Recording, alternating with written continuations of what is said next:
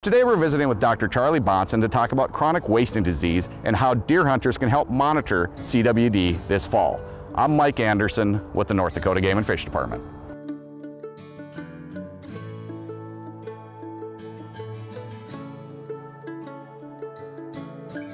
Charlie, you're the wildlife veterinarian here at the North Dakota Game and Fish. Tell me about chronic wasting disease. Chronic wasting disease is uh, a brain disease of, of our cervids. Um, it's, it's actually quite slow moving within a deer and even across the landscape. Um, but we know that once it becomes established, it's really difficult, probably impossible to eradicate. Um, so in North Dakota, CWD is, is still quite rare. We hope to keep it that way because we know if it becomes common, uh, it will impact our, our deer hunting in the state. How can deer hunters this fall help the Game and Fish Department monitor this disease? Hunters uh, can do a number of things to help control the spread of CWD. One is be aware of the regulations where you're hunting. Some, some CWD specific regulations apply. Um, we know that the that uh, portions of the carcass left over after processing can be a source of infection if they're moved across the state and, and left out on the landscape. Um, so the best place to, to leave those parts is either at the location of harvest or making sure that they get disposed of through your waste hauler. Uh, we also know that unnatural high congregations of deer um, speed up how fast this disease will spread. Um, they increase how much animals come into contact with contaminated bodily fluids and also how much animals come into contact with each other. Um, so baiting and feeding are, are, practices that, that do artificially increase how fast this disease will spread. Um, so we encourage hunters to uh, move away from those practices. Um, and then finally, a really important part of managing CWD is knowing where it is, where it is not, and then how common it is. Um, and we do that through, through surveillance every year. This year in, in the western portion of the state and then Unit 2B on the east side, uh, we're asking hunters to consider submitting uh, their animal for testing um, so to help us find out. Um, there's a number of ways that they can do that. Um, probably the most convenient way is by dropping off a head at a collection site.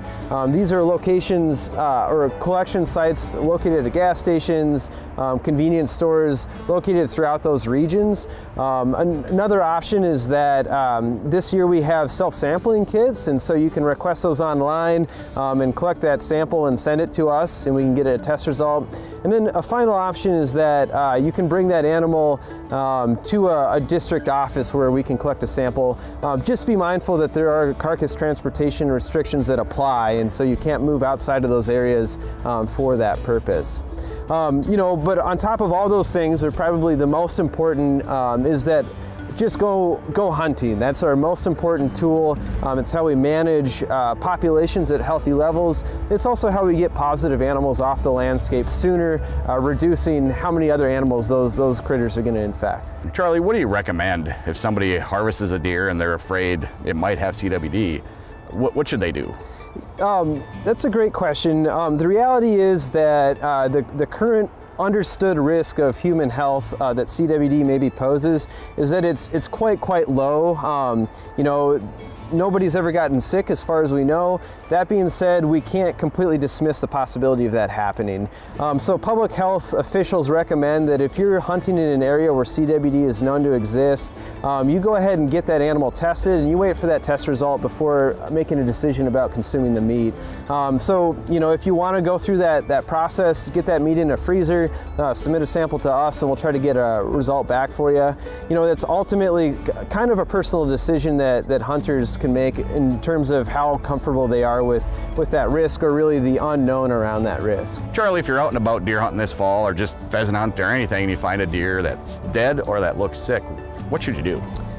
Yeah, the following up on, on sick and dead deer is an important thing that the department does to monitor for CWD, for EHD, for a number of other diseases out there. Um, so if you come across a sick or dead animal, the best thing to do is contact your, your local warden um, and then we'll make a decision how to proceed from there.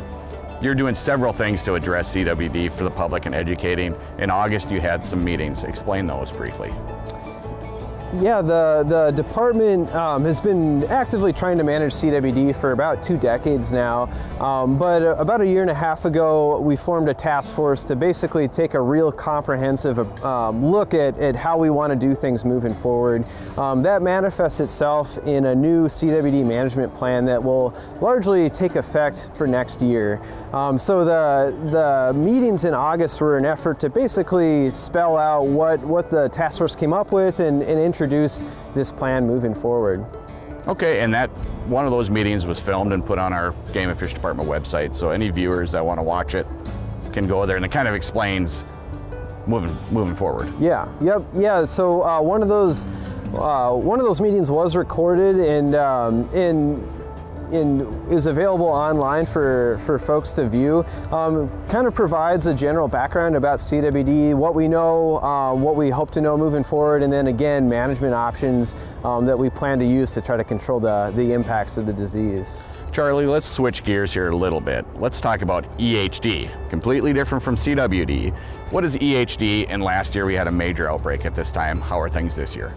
Um, EHD is a, a, viral disease that's really fast acting, um, transmitted by uh, little biting no-see-ums, and, and it's absolutely not new to North Dakota. Um, we have documented outbreaks from, you know, from well back into the 60s even, um, but we know that every so many years, uh, cyclically, we can have bad years. And last year was actually the second of, of two years in a row where we had pretty strong impacts. Um, in 2020 in uh, Southwest uh, North Dakota, we had quite a bit of mortality, and then last year, 2021, it, it moved up into the central portion of the state. Um, we know that last year it was pretty dramatic. Um, some units were, were pretty strongly impacted. Um, you know, certainly fewer whitetail deer were out there to be to be harvested that year, um, and so there was a, a, a definite impact. Um, this year, the good news is that there was uh, little to no EHD. Um, you know, there's maybe a, a, pocket here or there, but but no real reports to our department, um, no positive test results. Uh, so it looks like we're cycling away from it, and, and hopefully we'll have a number of years here where it won't be much of a factor. Um, in contrast, C CWD is a new threat on the landscape um, that starts slow and, uh, and slowly builds um, and, and could reach a point where we have this year after year after year disease pressure um, that we have no reason to think our deer can be um, can sustain. And so, um, you know, while EHD is common and can have single year dramatic noticeable effects, CWD is this thing out there that we have real concerns about, and, and so that's why we're trying to, uh, you know, mitigate the risk to the extent that we're able. Let's move back to CWD, Charlie. Final thoughts. What can people do, again, to help us manage this disease? Um, so final thoughts, uh, there's a number of things. One is be aware of the regulations where you're hunting. Some, some CWD specific regulations apply. Um, two is if we're conducting surveillance in a unit where you're hunting, please do consider submitting a, a, sample for, for testing. And then three, at probably the most important is do continue to go hunting. Um, hunting is our absolute best tool in managing this disease, managing deer populations. Um, so, you know, take to the field this fall and, um, and hopefully this is a tradition that we can all continue to enjoy long into the future. A lot of great information, Charlie. Thank you. Yeah.